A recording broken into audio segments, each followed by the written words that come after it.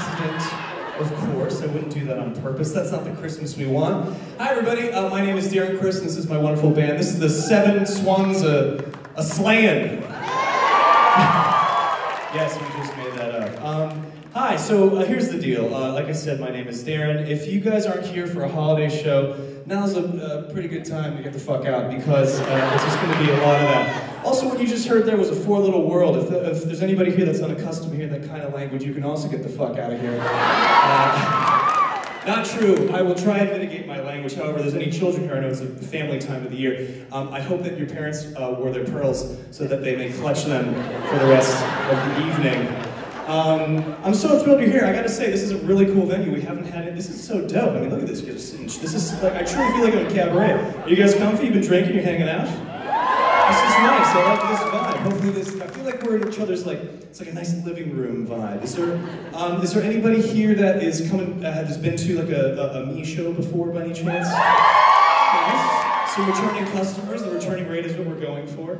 If I'm being honest with myself, though, truly, is there anybody here that was kind of like dragged along, didn't really know what they were getting into, don't know what they're My man, you can tell by the excitement. Yeah, I'll go. Who fucking don't care? Well, this is from a man over there and a couple of you. If you have no idea what's going on, hey, neither do I. So we're all going to learn a lot about each other. Hopefully, by the end of the night, maybe have some fun, maybe learn some things. Maybe I learned about you, you learned a bit about me. And my win, sir, would be on the way home. This, this, this is the goal, honestly. And I'll check in with you throughout the night. Uh, hopefully, by the end of the night, you're going like, hey, it's, you know, it's all right. It's kind of fun. It's, it's okay. I feel like I'm in the holiday spirit. Uh, he- His songs were like, eh, but you know, he seemed like a nice guy. Uh, that would be good. What's your name, man? Whoever gave the big burly yes? What's your name? Oh, I scared now. Tim. What was that? Tim. Tim, Tim, my man. I'll be checking with you all night just to make sure. I'm open to notes. I want to make sure that we're keeping you nice and comfortable.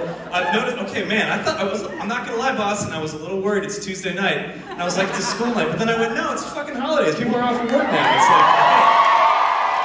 So we're nice and loose, which is good. Um, so, you know, sometimes we'll, we'll have some laughs, we'll have some songs, we'll have some get real, we'll get weird and silly and all the kind of fun things that we try and do. But like I said, this is namely a holiday show because I made an album a year ago called uh, A Very Darren Crissmas. And I decided, jury's out. Maybe those movies won't, maybe by the end of the night you'll be like, I don't know. Uh, but I appreciate the preemptive encouragement. I made an album last year that obviously there's a really kind of eye-rolling, stupid-ass pun that is the title of this album. But aside from the obvious choice of that title, this is a very me thing. Arguably, what we'll be doing tonight is kind of like honestly the most personal thing I've ever put out musically, as silly as Christmas albums can kind of feel. It's called that because I wrote, produced, arranged songs to be very much in the like oeuvre of, of like me, of things that I thought would be singular to my the way that my brain works. And so I'm going to kind of walk you through the why, when, and how of these songs, and hopefully they resonate with you. Hopefully it adds a little bit of a, a plaque next to the proverbial painting of each song when you listen to it at home, and hopefully it elevates your your holiday spirit, as I said before. So I'm going to get right into it. Uh, I, I really, my man Tim and everybody else, no matter where you're coming from, I really do realize that during the holidays, there's a lot of cool shit to do, a lot of other places you could be in a really great town like Boston, a lot of cool things you could be at other than this. So, I want to make sure that we make your time worthwhile. I want to return your value, I really want to return the value of your investment back by the end of the night. So to start, I'm going to do something that wasn't necessarily on the bill, and maybe not something you even give a shit about, but I'm going to do it anyway because it may be additive in the, in the evaluation of this evening. Uh, would, would, anybody like to see a magic trick? It's going to be insane. So here's the deal. Christmas music and I love the holiday music. Anybody here like not like Christmas music? Again, exits are clearly marked. you need to get out. Uh, now, the holidays have a lot of cool things about the way that those songs are constructed. There are certain tricks that even if you don't know what the words are saying or don't know what the song is about, when you hear it in the department store, if you hear certain things, you, well, okay, for instance, here's magic. Here's the magic trick. I'm gonna, I'm not, I'm gonna play a not a Christmas song. All right, here we go.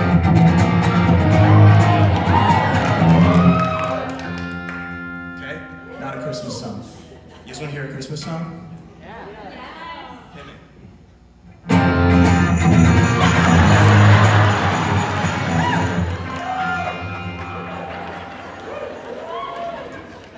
It smells like holiday spirit now. That largely to those were sleigh bells, those were jingle bells, the things that immediately make your brain go, oh, just, I feel, I love the holidays. I love the way they make me. Um, because it's all, they're plastered all over every holiday song ever because it immediately make, turns a regular song into a holiday song. Same with strings, big vocal harmonies, jazz recordings, anything that was recorded pre-1970, like, you, it feels nostalgic, right? So there's a couple sounds that kind of key us into the way the holidays feel. Now, there, there were two things, don't worry. By the way, you guys should know that you signed up for my mini TED Talk, and the music is, the music is just like decoration. I'm pretty sure a bar outside. If it gets boring, gotta pee, go for it. By the time I come back, I'll still be talking. Let's hope not. This is my last little bit. So on this album, I wanted to do two things. One, grab a bunch of songs that you were already familiar with, that people definitely knew, but hopefully record them in a way that had never been uh, kind of uh, figured before. Like you would have you would have factored that kind of recording into. So in an unfamiliar familiar song, unfamiliar recording. Or on the other side, which is more important to me, songs you definitely don't know that you've never heard in your fucking life, but record them in a way that somehow feel nostalgic and familiar or accessible. Kind of fool your brain into thinking, oh, this is that uh, Frank Sinatra song, right? It's not. You've never heard in your life. So those are kind of what I was doing. Now this song means a great deal to me. I love it. She is one of our greatest living songwriters. She's still with us. May she live another thousand years. And I wanted to uh, kind of pay homage to this song, but I can't do it like her. So the last thing that I love about holiday, like sonic cues, is a lot of my favorite uh, Christmas records actually came out of Detroit in the 1960s, aka the sound of Motown. So I was like, oh, all those Ronettes records, those Phil Spector records, that feels somehow like the holidays to me. So I figured maybe if I threw that onto this song, then I wouldn't have to feel so shitty about sounding nothing like Joni Mitchell. Two.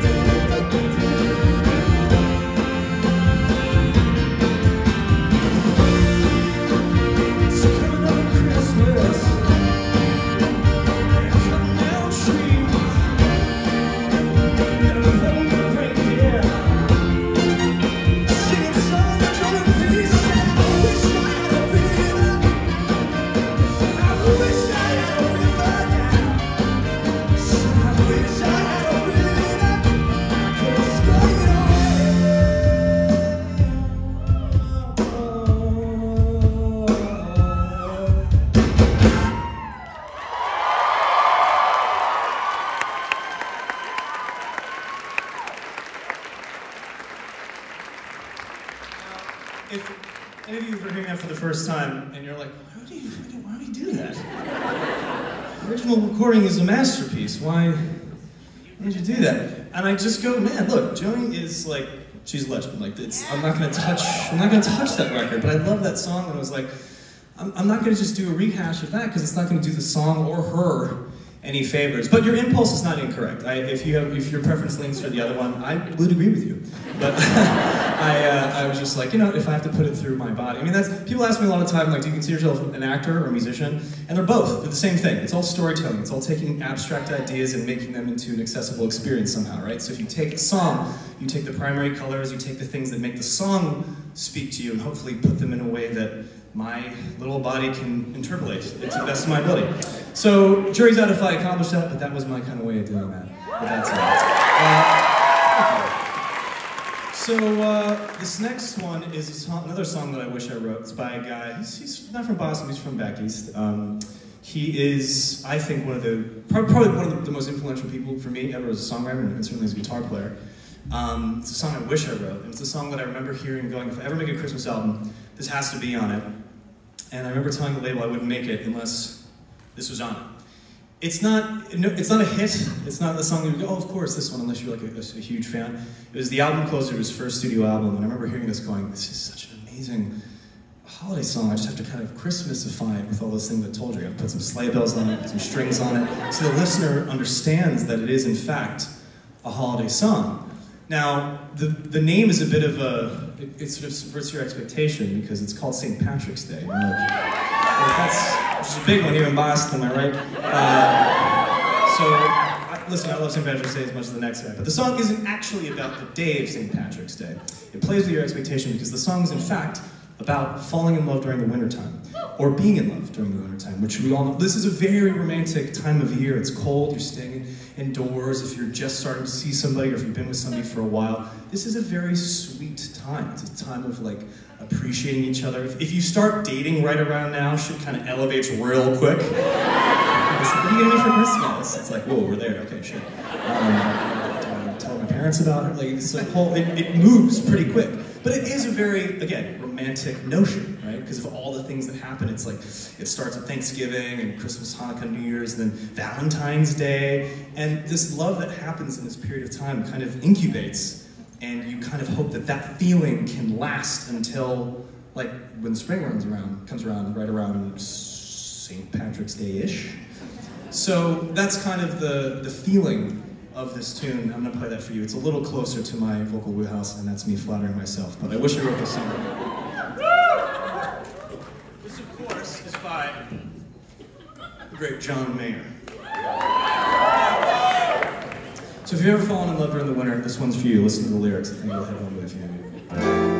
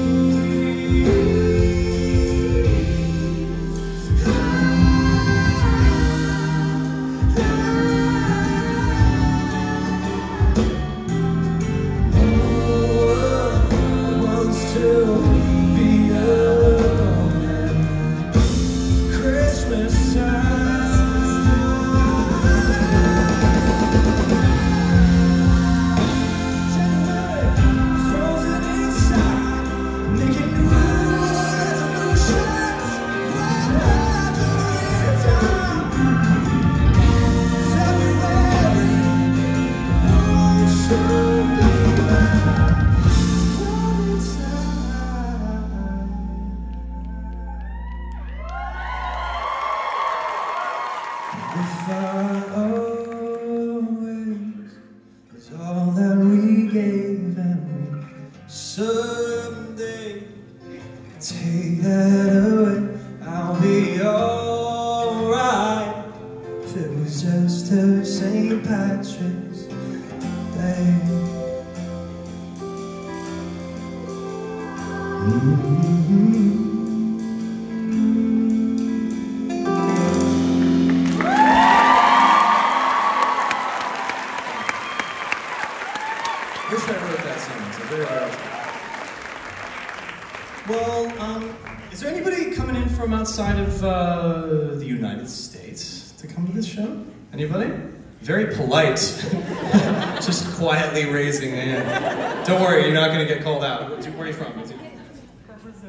Brasil! Obrigado. Obrigado. Saúde. Um, welcome, welcome, welcome. Uh, that's a pretty good place. My father used to always say there needs to be more Brazilians in the world. To which I would say, yes, that's a very affectionate thought, Dad, but also, do you realize there's like zillions as well? it's like a very highly populated country. Um, welcome, thank you for being here. Anybody, any from any other places? Any from Dominica, nice. So we have, we have some Spanish, we have some Portuguese, Espanol, Portuguese. Any, well, okay, so I'm gonna throw a wrench in this only because those aren't the languages we're about to do. But I just kind of wanted to know if there was a global aspect to this evening, which there is. Thank you for joining us from the the DR. Um, we're going to travel to Gay Paris because why not? I think you know th- what's nice about the East Coast. Obviously, you guys have like much to your chagrin, I'm sure, cold ass winters, but you get snow, right? You know, so the very sweet part of it before it gets like disgusting and unbearable around like you know like mid-January, where it's like the the, the, the sweet white Christmas becomes the gray shitty thing blocking your tire. Uh, so while it's cute, um, I always think of when I used to I used to spend a lot of uh, East Coast Christmas growing up in California where there wasn't you know snow, and uh, I would uh, so so romanticize. But another place that I romanticized, even though I wasn't from there, was of course Paris. There's something romantic and nostalgic about Christmas in Paris. There's songs about it, and I don't know. I really kind of can you give me like a little waltz, like a Parisian waltz? Give me brushes. There's something that kind of transports you to another place that to me, I don't know, it seems just like adjacent to like the holiday vibes. Can you give me some like makeshift accordion, Devin?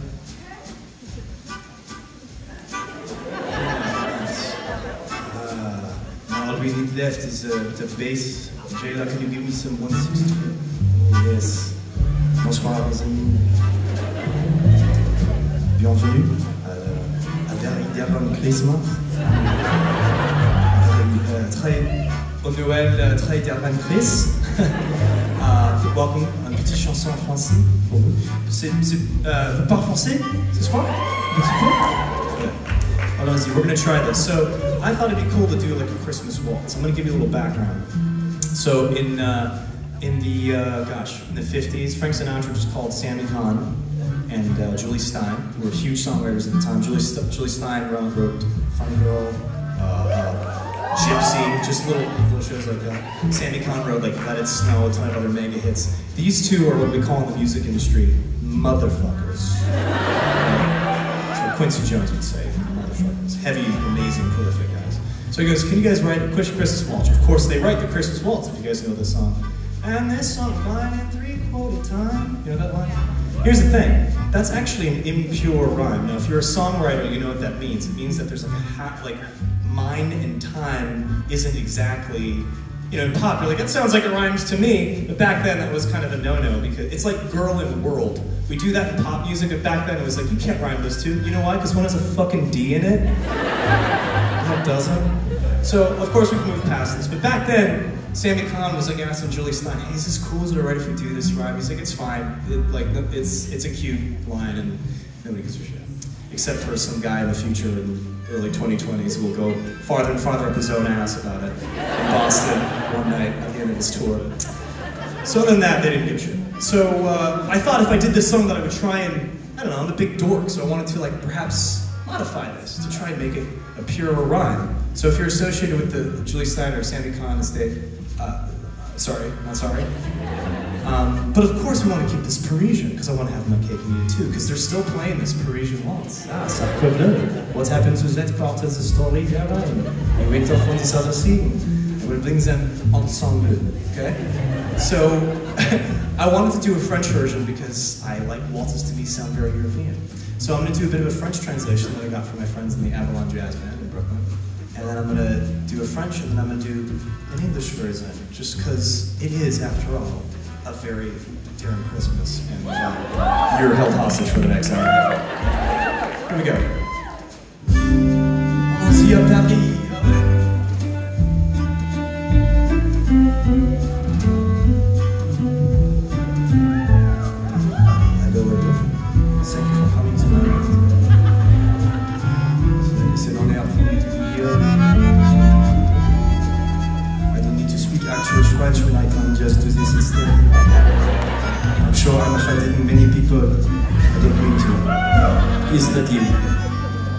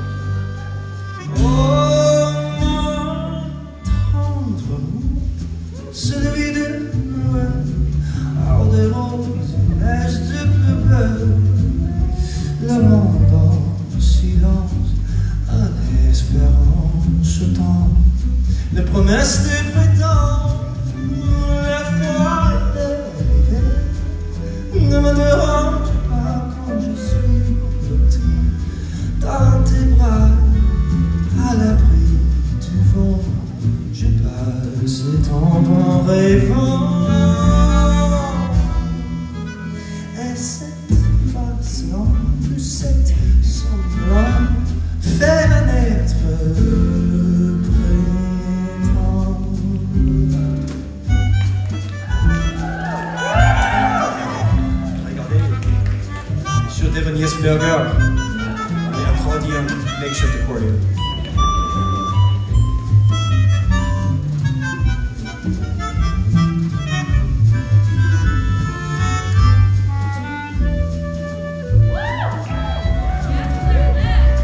Yes, clarinet. That's right. Morgan Price on the clarinet. It's a very romantic sound, or maybe just what it feels like when you're waiting in line at Starbucks. I don't know. Ain't this song sublime? It's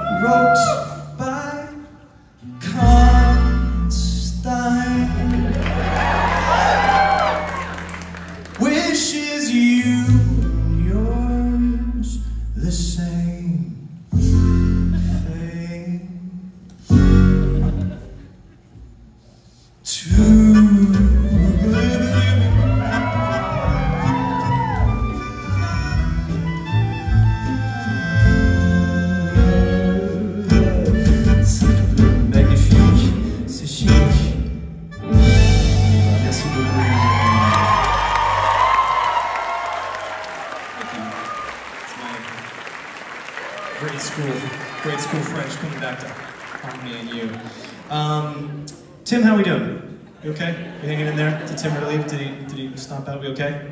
Uh, it's pretty good. It's all right. It's all right. It's all right. Thank you. Appreciate that. You don't have to patronize too. If there's ever something that you're like, I, I didn't like that you go, you feel free. You like give you full full mandate to do that. All we're liking things. How do you like these boots? They're too red. Do we like them? I had to I had to pin down a couple L's for them, but they'll be fine. They'll be fine. Um, so uh, I don't know, guys. That was fun. We did some world travel. What did we do? We we, we started in with Joni Mitchell, which is Canada. John Mayer's American. That last tune is very Parisian. So let's let's keep it going full speed. We got anybody coming in from the south here? Anybody? Where y'all coming from? Tejas. Nice. What about you guys? Florida, as they say up, up over these parts of the world. Florida. I married a girl from Long Island, and she keeps calling it Florida. I'm like, you mean Florida with the O? Florida? Florida, where you play with your dolls? No. What about you? Are, are these flowers from the South? Amazing. I can tell because they're beautiful. Thank you. I'm putting them here, but that's not to say that I won't take them up. They are, will be a boot hazard, as it were. That's another musical term for you in the music industry, boot hazard. Thank you, that's very generous of you, but I'm putting those right there. I won't forget them, thank you. Okay, who else got flowers for me? Come on, what the fuck? Kidding. Kidding,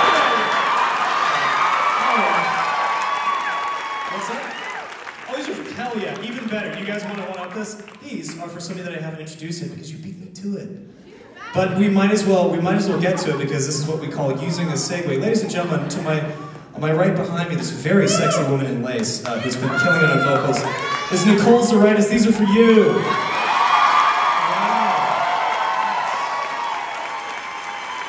I had a feeling the last show would be a little funky. That's very sweet of you. Yeah, she's incredible. Well, you know what? As much as I would like to be accepting donations, I, I do, for the sake of Tim and his friends, I do want to make sure we keep this ball rolling. Because there will get to be a point, and it'll feel a lot sooner than later. There's, there's going to be a point in the show where you're like, it, it's it's time. It's, it's so let's let's facilitate this the speed we got going here. So here's the thing: we've been doing some travel. So we have Texas. We have where did we mention? Uh, where are you guys from? Florida. We got Florida. It doesn't matter where you're from, but here's the thing: I recorded this album in the South, in Music City, Nashville, Tennessee, baby. And the reason why I mention this is because Nashville has a lot of kick-ass music history. Obviously, if you guys know what the Nashville sound is, it's the time in the 1950s where you had all these badass motherfuckers recording incredible music that made its way to the mainstream via this newfangled thing called television. Suddenly, people like Patsy Cline and uh, uh, uh, Johnny Cash were not just relegated to these like sort of Bible Belt tours and southern like country western music. You see those movies like even the last Elvis movie and. Um, and, uh, and walk the line. They're always playing on the back of a truck somewhere, and it's just in this one contained area. So once TV comes around, it starts going everywhere, and people in California and New York and people from other sides are like, this is incredible. So that was the Nashville sound, and I love that music. And while I was there, I was like, I need to pay homage to that sound while I'm here, because I'm, I ain't from the South, but a lot of really incredible music comes from, from that part of the world, and is big, a big contributor to a lot of the music that we listen to now. So I was like, okay, if I was to do this, what would it be about? Well, two things struck me. Once, when I was there, I was working really hard. There was a 24-7, 365 Christmas bar called Santa's Pub in Nashville, Tennessee, which I could not endorse more. Um, so that was kind of swirling in my brain, and I was like, I wanted to write like a duet, like a Johnny and June, Junior Johnny uh, and June Carter kind of thing.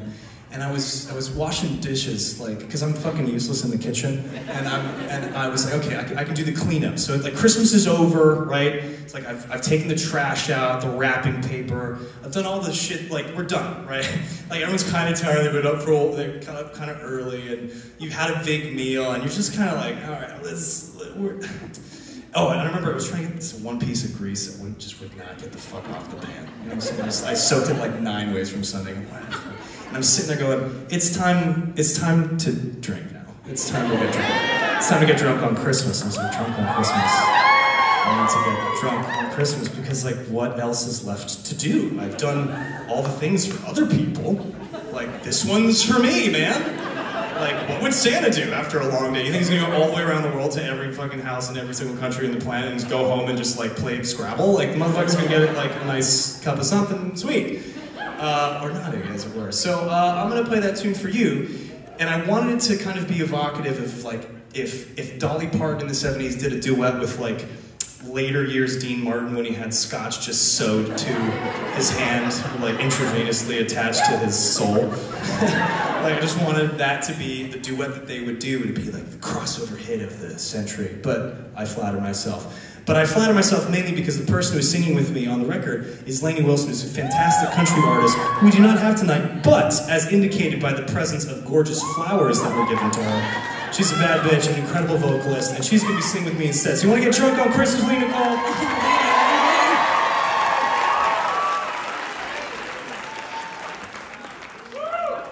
some of you have some flammable objects in front of you. I would encourage you to ingest them uh, at some point during this song. But this one is uh, here's looking at Nashville and looking at uh, you know raising your Christmas Christmas spirit. So there. One.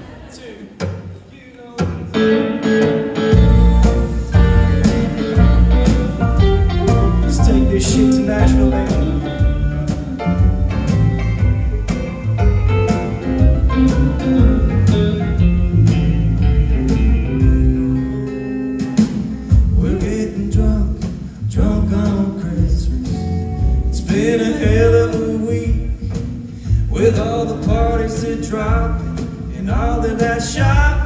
I you that I wouldn't peek But isn't it nice?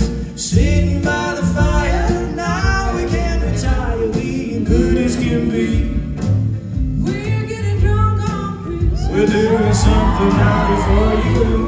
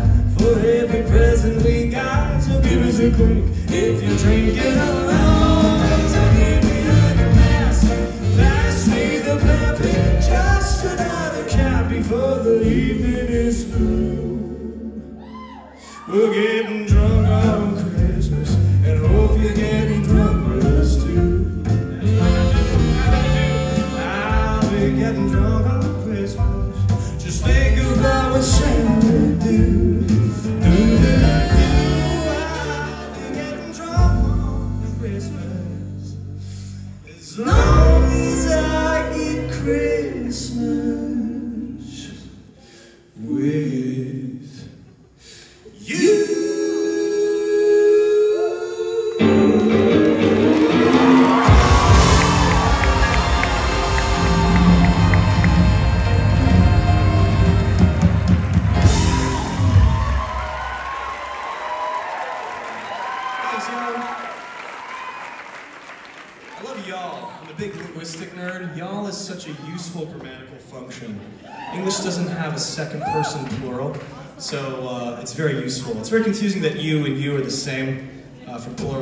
so y'all, big fan of. Now you know. I know you're really wondering that, so I just wanted to continue adding shit that you were clearly curious about. Uh, for Tim's sake, you know?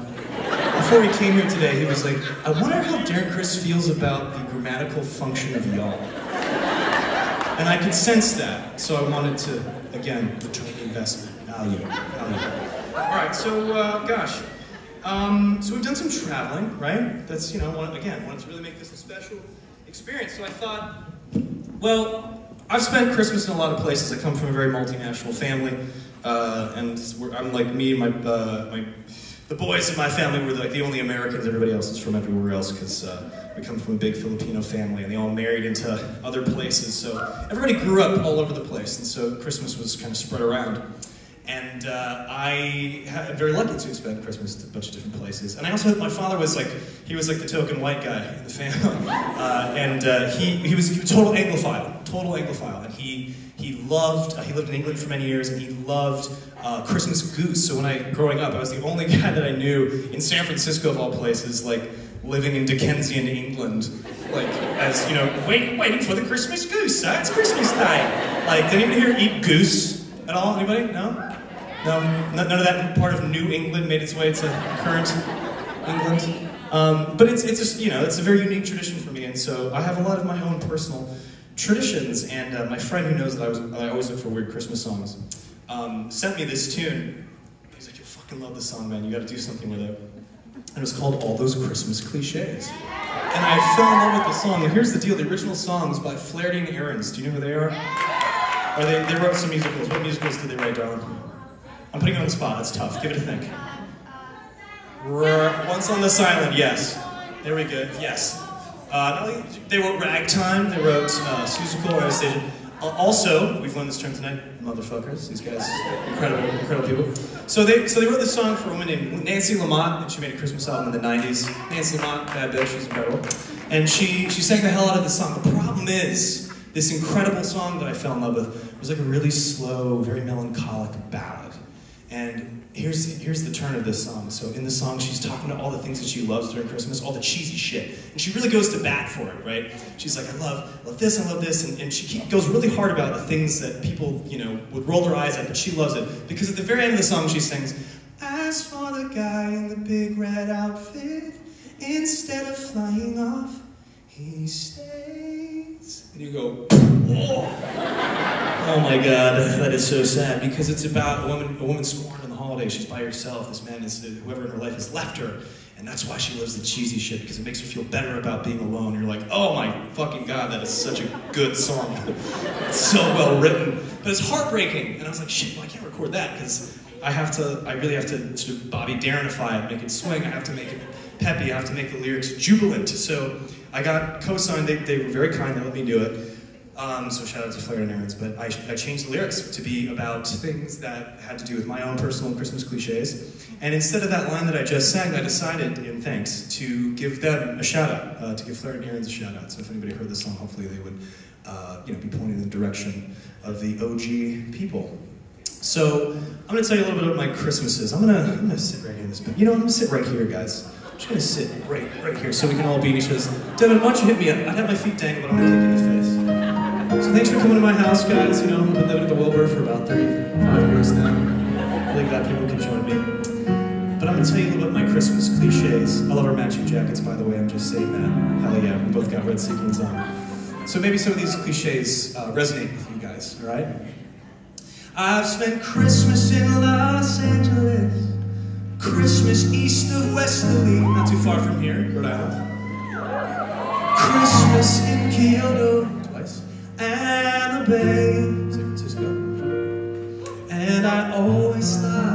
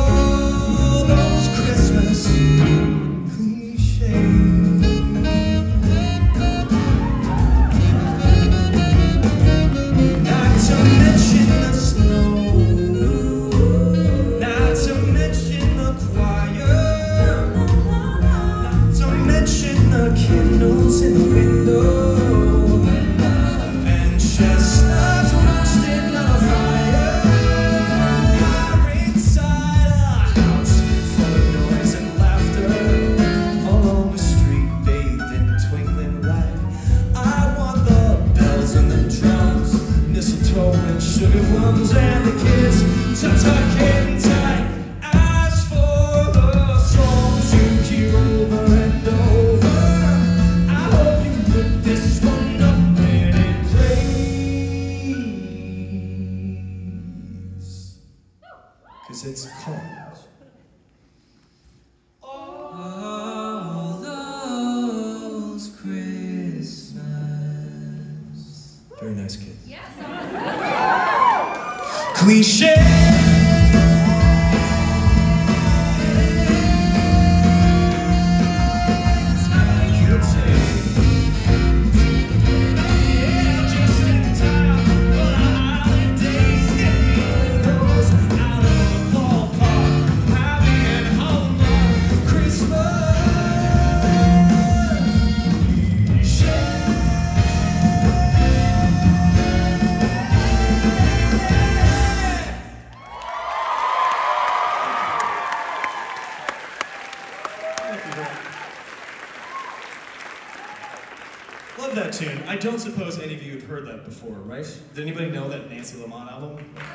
You did?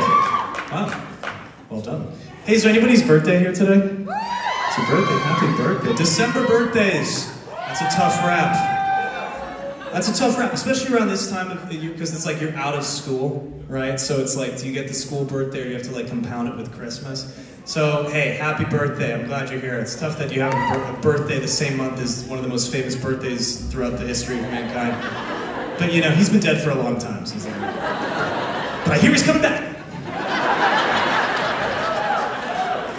We play our cards right. Who knows? Keep it secular, keep it non-denominational. Um, so uh, I don't know. I'm gonna I'm gonna keep keep it weird, keep it with shit you guys have never heard before. This is a good pee break, by the way. If anyone needs to get, especially the people in the front here, like I know when I'm like up front at shows, I'm always like, fuck if I get up, he's gonna be so mad. I don't care, you guys paid your money, like you do what the fuck you want. All good, no worries. If you gotta pee, you gotta do your thing, like do your thing. It's all right. Um, so uh, just just just as FYI, in case anybody's nervous, because this one's gonna be a slow one. It's gonna be very sweet, but it's gonna be slow. So again, just then you know. So uh, and I can't even see you, motherfucker. So it's okay. You guys can pee whenever you want. But I'm sure you're beautiful. You're you're shrouded. You, like I feel I feel like when the lights come up, it's just gonna be a bunch of like ghosts of Christmas future just pointing at me. I hope it's not the case. I see lights. I see very quickly fun things. So I'm going to do something kind of um, bit sentimental, if you don't mind. I've, I like to think I've always been sentimental, but this one's very near and dear to my heart because uh, when I was, uh, gosh, I don't know, 10, uh, grew up in San Francisco, there was a theater company that I worked with called 42nd Street Moon, and it was my professional like debut. I was still in school, but after school I would like work with adults, and it was like the beginning of my journey in being professional theater. And uh, this company did a lot of obscure musicals. That was their bag. They would try and revive shit nobody'd heard of, which is maybe where I got that habit, you know, in my own career. And there's a musical I did that was called Fanny. Um, now, was there anybody here uh, uh, going to musical theater in the 1950s in New York? All right, see, that's right. There was a general murmur of no laughs, which is the correct answer, because if any of you said yes, I would have to call a paramedic and quickly get you home because it's, it's way past your bedtime if you're 90 years old. One more night on Earth, I have to see Darren Criss talk about obscure musicals. That's not, that's not what happened. Uh, so, I cracked my. This is just for me. I'm just sort of being masturbatory up here. I'm sorry. This, it happens when you give you a mic long enough. I apologize. We'll keep it moving, Tim. I apologize. So, anyway, you weren't, all of you are young. So I'm trying to say, y'all are young, man. Young people. No matter how old you think you are, you make fun of yourself when you're young. You know why? Because it's Tuesday night. You're in Boston. We're hanging out. This is good. Good. So. In the 50s, there was a musical called Fanny. You've probably never heard of it, but I did it when I was a kid, so obviously I'm very sentimental about the music. And there's a song in it that has nothing to do with Christmas, but I always thought about it during Christmas time because it was a song about coming home. Now, I thought when I was making this album, I want to put this song in there, but they don't really talk about Christmas. But man, what is more evocative of the holiday spirit than coming home, returning to a place that's familiar, that has people and things that are familiar to you, that you love, that love you, things that you know that have like an old routine that you can wrap like a blanket, you know, something really sweet that it's it's a feeling that we all chase every year. Every year we, we suddenly are somewhat okay with paying exorbitant uh, hiked up travel prices on planes, trains, and automobiles just so we can get back to this feeling. And it's a marvelous concept that I was like, okay, so I have to put this on the album because anytime that I would come home from the holidays when I was growing up, I, I would sing the songs. I'd go up the many stairs. I grew up in San Francisco, a lot of stairs, a lot of hills. So I'd go, being, I'd go up the stairs and I would sing this song to myself. And so, um, again, while there's no outright mention of Christmas, hopefully that. Are there people coming home, uh, put back to Boston or, or Mass from out of town? Well, welcome home. This song's called Welcome Home. This one's for you.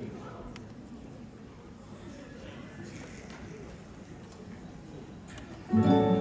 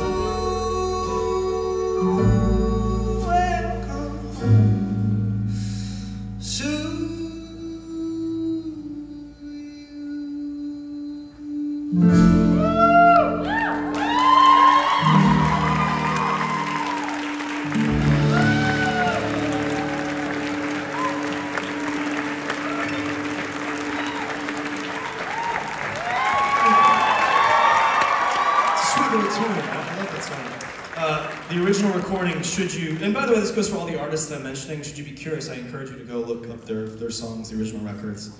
For whatever reason, if you've never heard of Joni Mitchell before, maybe check her out. Good thing to do at some point in your life.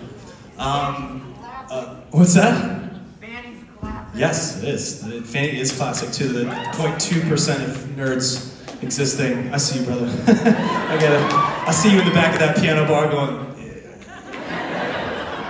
You're the guy that I go, cool, let's get a drink. Um, so, uh, yes, that is a beautiful little show. What's funny about that is I was thinking about songs that have no mention of Christmas, and there are quite a few.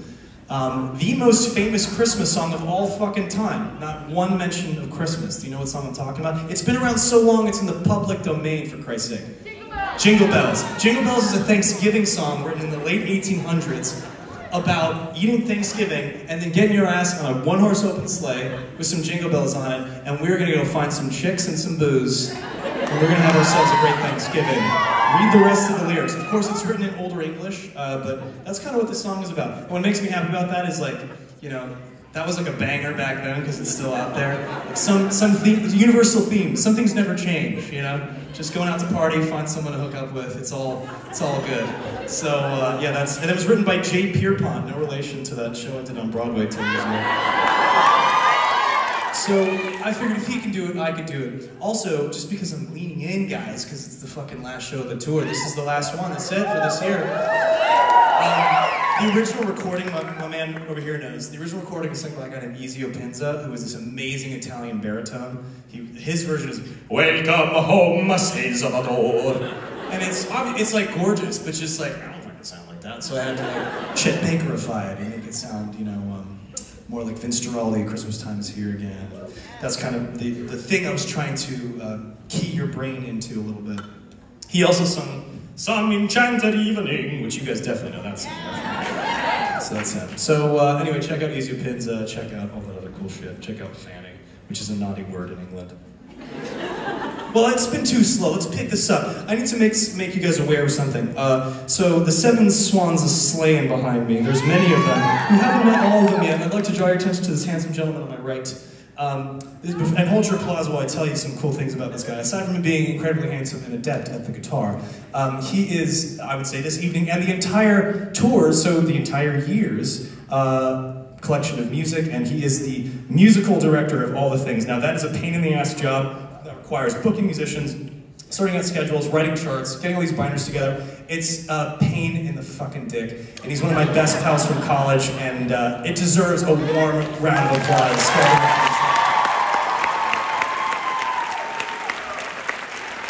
So having said that, I thought we might do with Tomek's. Tomek made a Christmas album right around the time I was making mine, and you have some terrific musicians up here. Some really any musicians in the house? We are in Boston, some good music schools around here. Um, let's play some jazz, baby. Let's let's let's pep it up. This is a, this is a version that Tomek had, and I was like, let's play this live. Let's show off some of these bad motherfuckers we have on stage.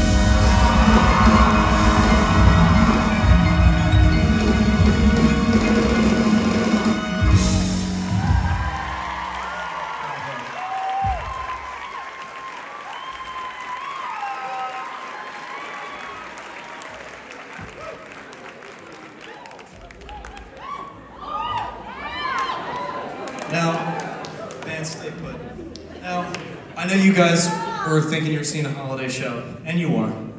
Maybe you didn't know you were seeing a jazz show. Maybe you didn't know you were seeing a Nashville Sound show. Maybe you didn't know you were seeing a John Mayer show. You get all those shows. I'm going to persist with the whole value thing. It's important. But what you did not know is that you were also going to get a bona fide wardrobe change. That's right. Eat your heart out, Stefani Germanotta, aka Lady Gaga. Now we make do with what we got. It's sweater weather, y'all, so we gotta kind of, you know, keep it fun. Now, usually this is where we're gonna, ooh, ooh, ooh, that's fun. Is that me? Is that gonna be? There we go. So every show is a little different, and this is no exception. It's the last show, so we're gonna do some stuff. Um, just one more time, this incredible band, guys. Let's have a sound.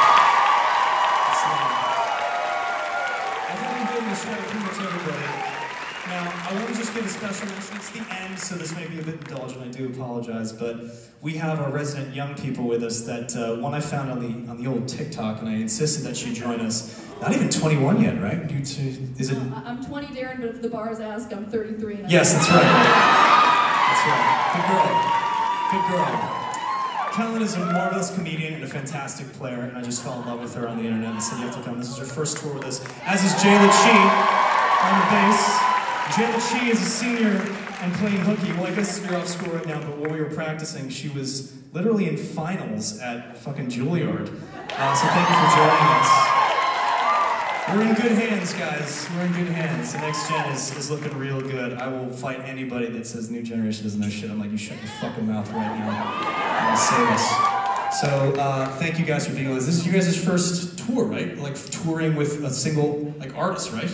Well, thank you for, for joining us. We're very lucky. Because he didn't have a soul on this last one, I wanted you guys to give it up for one of my favorite Avengers, Doctor Strange. Uh, he didn't bring his cape. That's Morgan Price. I, I asked him if anybody makes Doctor Strange jokes, and he said no. I was like, that's a shame. Your, your facial hair is exquisite. All right, so every show I do a different song that we learn like kind of like right before the show. So we're gonna attempt to play a song that I've never played in my life. So,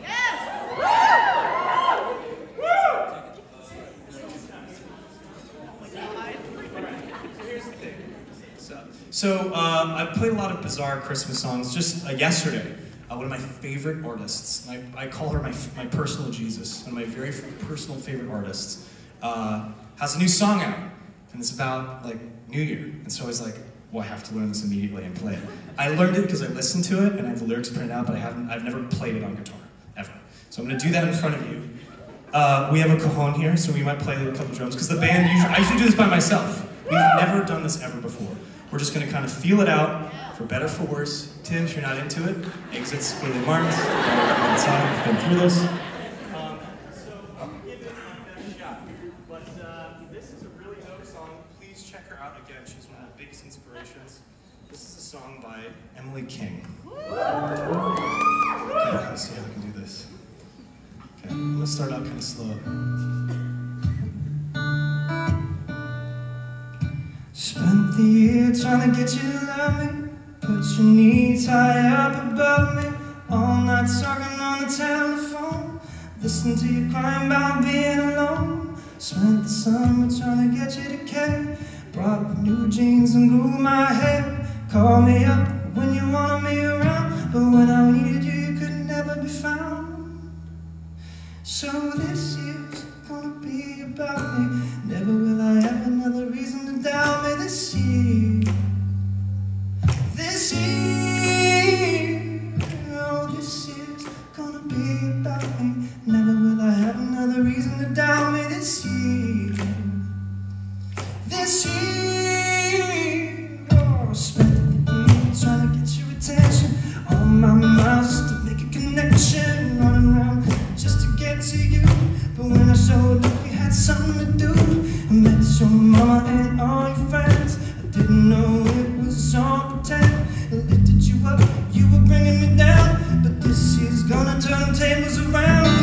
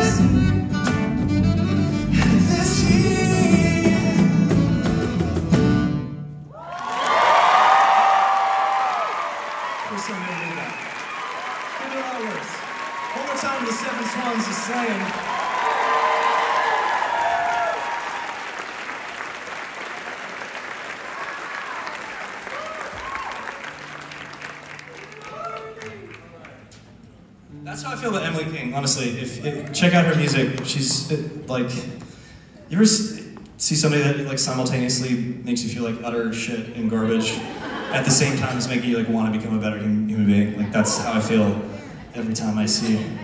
That can't be me. We need to. This needs that needs to move on to Emily King. She, she's extraordinary. She's like if be, like if like Beyonce had a baby with Prince, but was like an indie darling. That's her. She's like extraordinary. Full cosign, Emily King, all the way. Um, well, we're gonna slow it down because you know that's what we keep doing. We gotta have levels. Tim, you doing all right, man? Yeah, yeah, I like it. Like, yeah. That's how I was feeling. So uh, this one you guys definitely know. I know a lot of the songs you probably didn't know, but this one you certainly will. It is probably it's it's not only one of my favorite holiday songs. It's one of my favorite songs. Like period. I think it's one of the greatest tunes. Just constructionally, harmonically, it's it's like flawless to me.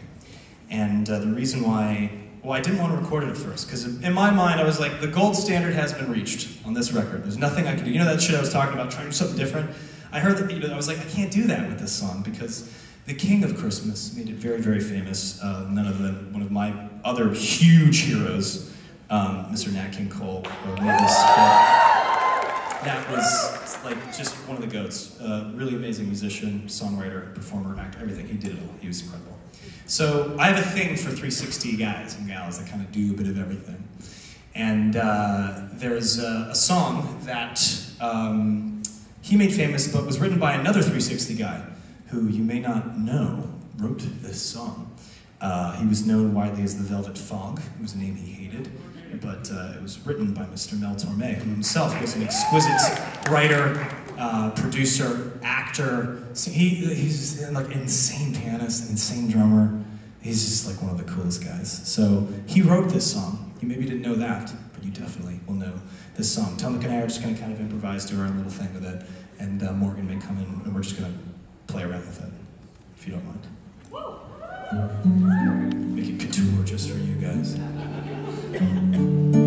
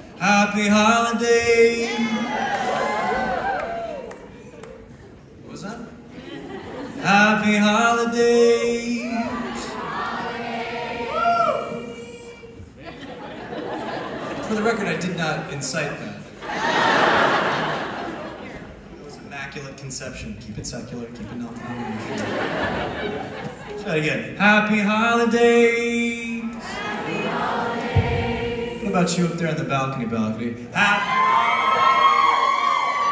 That was off note. Happy holidays. We got some octaves. Nice. Good ears.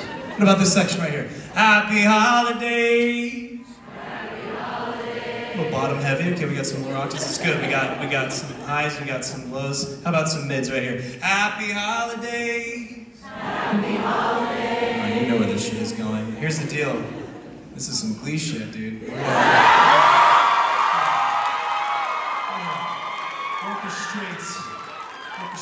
the, the, the vocals. But make no mistake, if you off key or off time, your ass is out of the club, right? I've clearly indicated where the exits were. All right, here's the deal. Everybody, happy holiday. Happy holidays.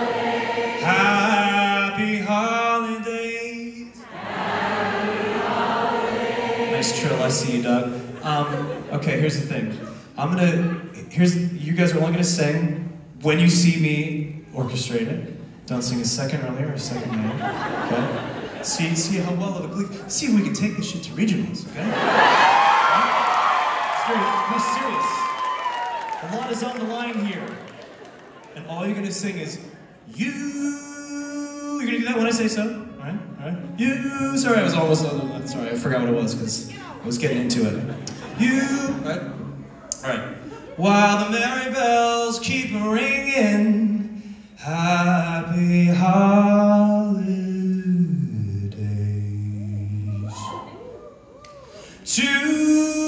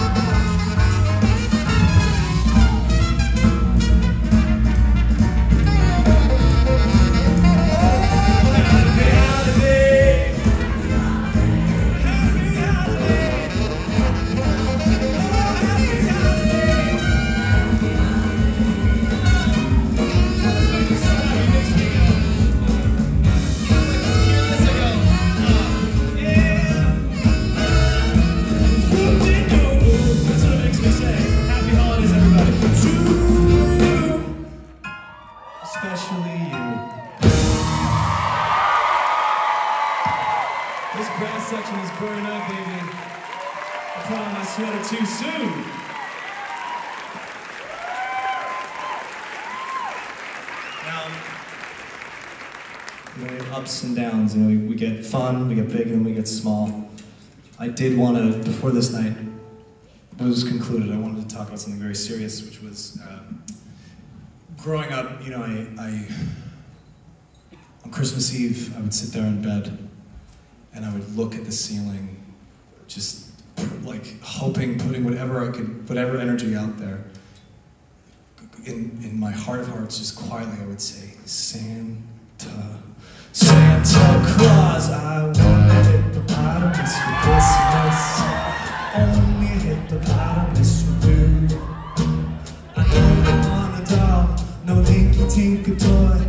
I want a hippopotamus to play with and enjoy. I want a hippopotamus for Christmas. I don't think Santa Claus will mind, do you, Tim? He won't dirty chimney flue. Nah, just him through the front door. That's the easy thing to do. I can see me on Christmas morning creeping down the stair.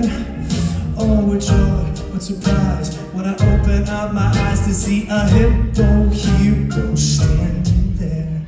I want a hippopotamus for Christmas. No crocodiles, no rhinoceroses. I only like, write it down, hippopotamuses. And hippopotamuses like me too. Yup.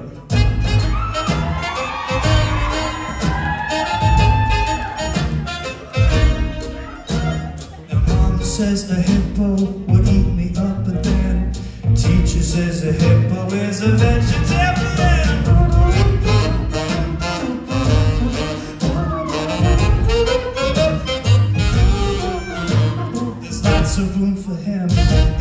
In two-car garage. Feed him there and washing there and give him his massage. I can see me now on Christmas morning creeping down the stairs. Oh, what joy, what surprise when I open up my eyes to see a hippo hero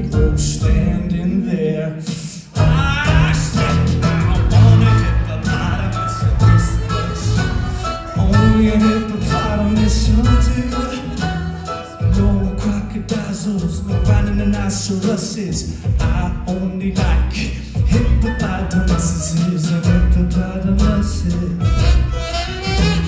Hippopotamuses like me too. Yeah, they do. Some real shit, man. I had to do that song. That's a Christmas cliche. Anybody else grow up with that song? Somebody came the other night and was like, I love that, I, that you wrote that song, right? And I was like, I fucking wish I wrote that song. I wouldn't be playing shows. I'd be sitting in my in my castle on the beach that I bought with all the royalty checks 30 years ago.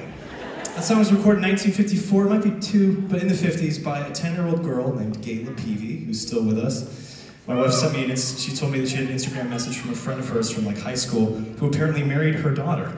And he was like, he was like, dude, you're. Uh, I just saw your husband. Uh, sing my mother-in-law's song on the Macy's Day Parade. I was like, holy shit, Gayla Peevey, holding it strong. Amazing, she's still with us. But she was 10 when she recorded it, and I was 10 when I heard it, and I remember somebody telling me that she was 10, I was like, what? She sounds like she's 43. Are you kidding me? Like, you can sound like that when you're 10 years old? I was so impressed. And uh, this song we always played in the house. My mom, I don't know if you guys are, are, are RuPaul fans, but my mom, I'm not throwing any shade whatsoever. I'm just saying that my mom knows her way around a lip sync. That's all. I don't think she could hand. I don't think she can hold a candle to any of those those gals uh, like sense of craft and character and all the makeup and all that stuff. Like wouldn't be able to compete. But lip sync, bang on. She knows her shit. So she she loves she loves to lip sync that one around the house. So we had to include it. Also, I was like everybody does it. It's mostly women that cover it, and it's always a straight cover of the boom, and I was like, you know what, I have to like.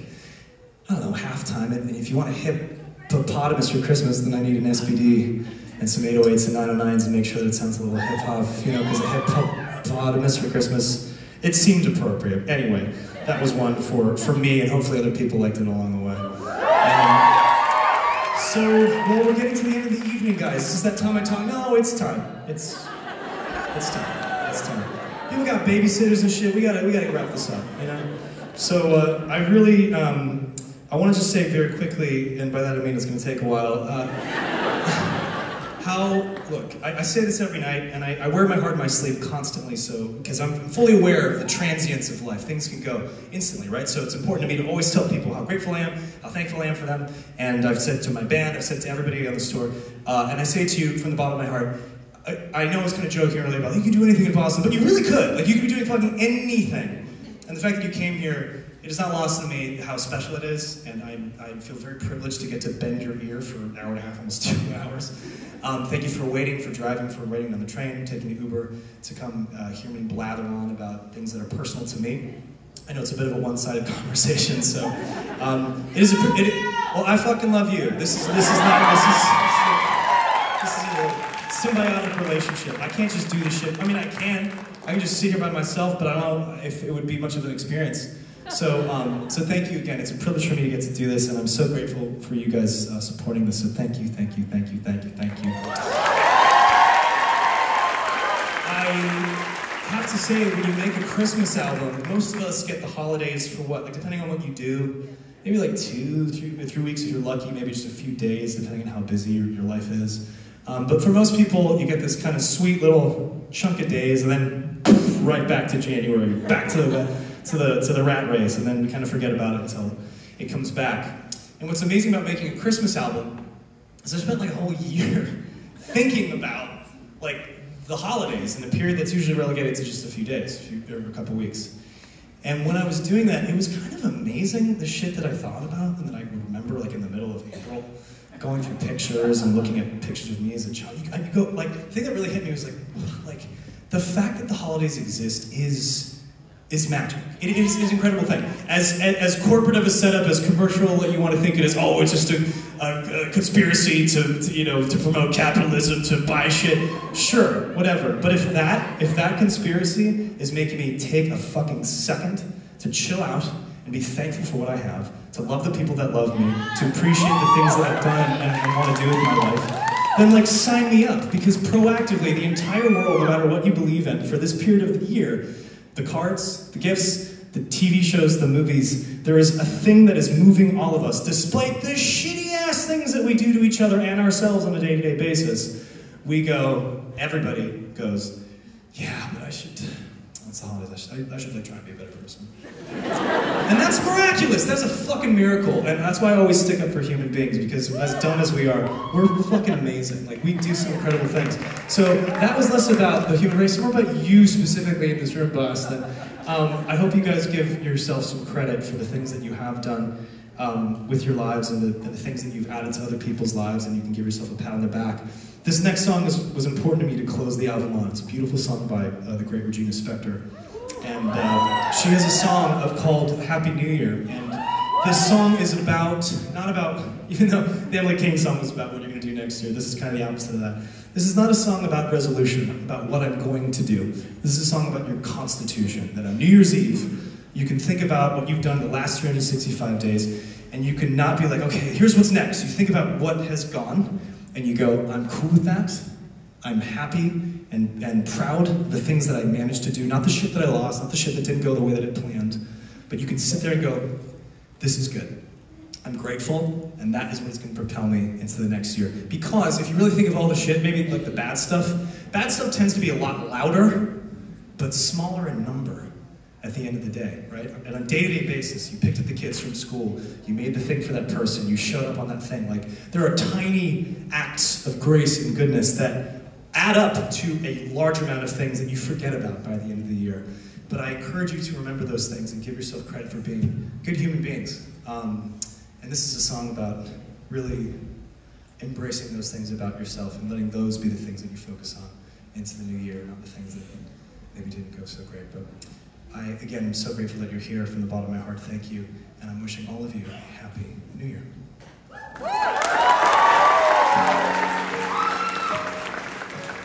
I'll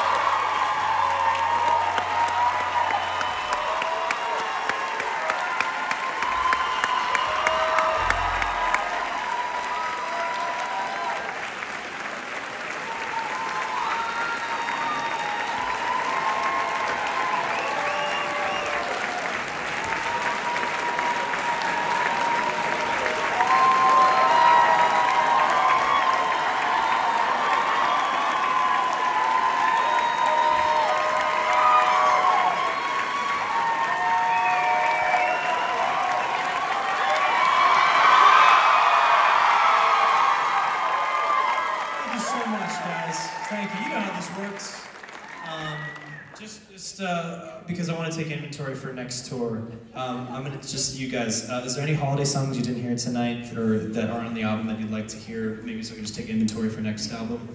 I'm putting you on. What's one? What's one? Last Christmas, my man. Dominick the Donkey. Okay. And then eventually, nice to see you again. Any? You know what? I'm asking the wrong people, guys. You're the right people, but guys, Tim. Are there any holiday songs that you're particularly fond of that you would have, it would have been cool to hear tonight? Or in general? Not gonna lie, Darren, it was pretty kick ass. Oh, okay, good. So we're done. No more songs, no more songs. Uh, my friends from, my friends from uh, Brazil, were, were any, any holiday songs you want to hear? Um, I love Last Christmas. Last Christmas. People really love that tune. How about how about Dominican Republic? What do we got? Any tunes? Eight. Eight Crazy Nights. Okay, that's a good one. Or the Hanukkah song in general. Okay, now it's like The Price is Right, where it's like you all could be saying the right answer, but I don't know. All right. Oh, that's a that's a deep cut. Not a holiday song. Nice try. All right, so I'm hearing White Chris. I'm hearing Last Christmas, Dominic the Don, Donkey. All right, I'm just taking inventory for next time. Instead, I'm not gonna I'm not gonna do any of those.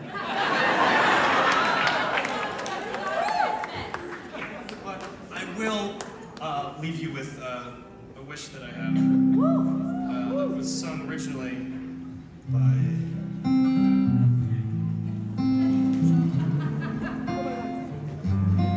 great Judy Garland.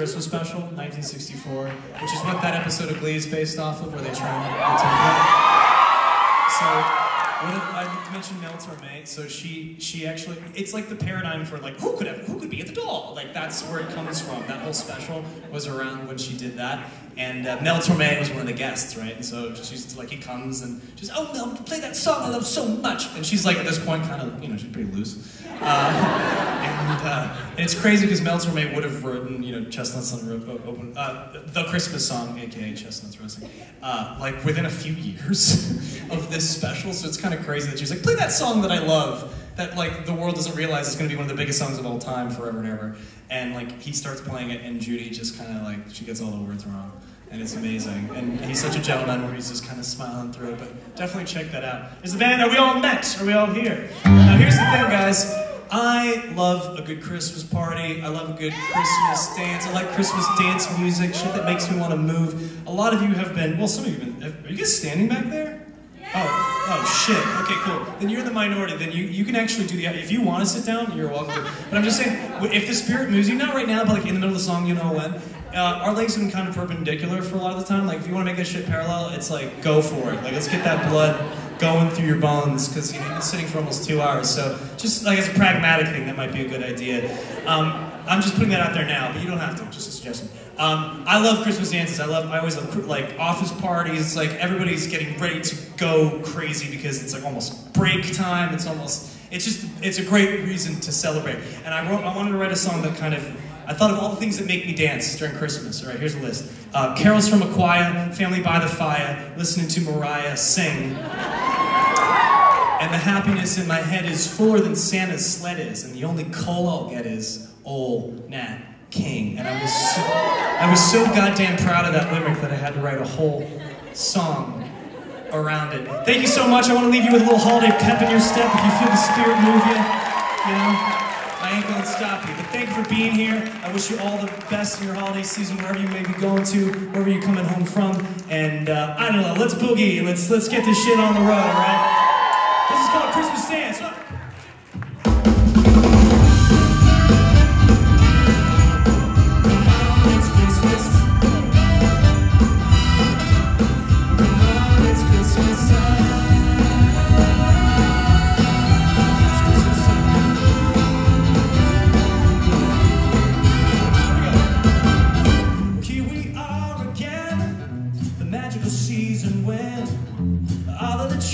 Dressed in light.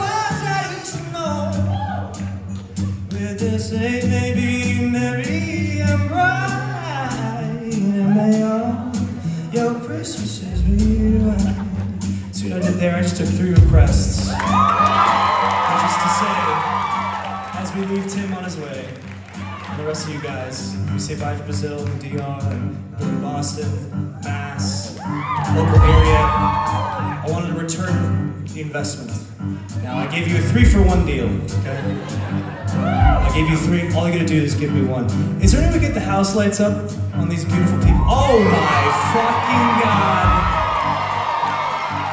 You're beautiful. Half of you are like, please no. The rest of you that got all ready to go to the show are like, yes, show me off. I look so good in this sweater.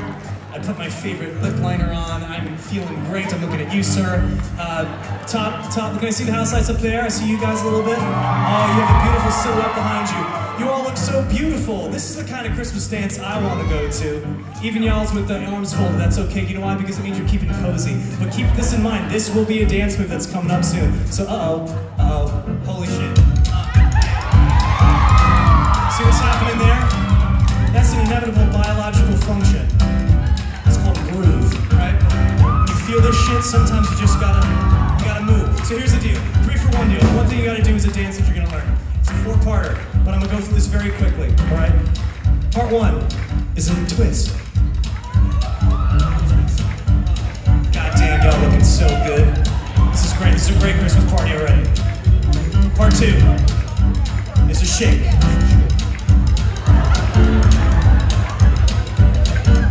Shake whoever you like. That was nice. I kind of like this wave action. That was very, that was good. Very Pentecostal. Keeping it non- non-denominational. Part three. It's very simple, and some of you are already doing this, so you're way ahead of the game. It's just a freeze. It's just you froth. It's a frost. You can do this. Whatever tableau, whatever pose you want to hold, you just freeze. Then rule number four is you just chill. You shake it off. You chill. Let me show it to you in sequence. My handsome young man in the bow tie. Let me show how it's done. Here we go. Five, six, seven. Twist, twist